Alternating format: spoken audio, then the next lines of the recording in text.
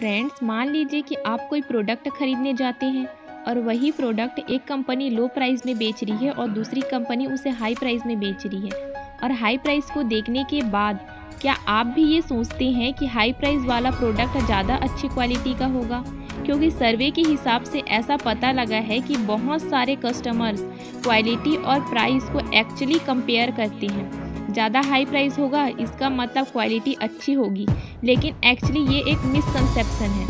ऐसा बिल्कुल भी सही नहीं है और सिर्फ़ इसी वजह से, जी हाँ इसी वजह से बहुत सारे प्रोडक्ट अंडर रेटेड ही रह जाते हैं। सो अपना ये मिसकंसेप्शन ठीक करिए क्वालिटी और प्राइस एक दूसरे से रिलेट करती हैं। ऐसा कुछ भी नहीं है। आपको लोअर प्राइस में भी अच्छी क्वालिटी का प्रोडक्ट मिल सकता है।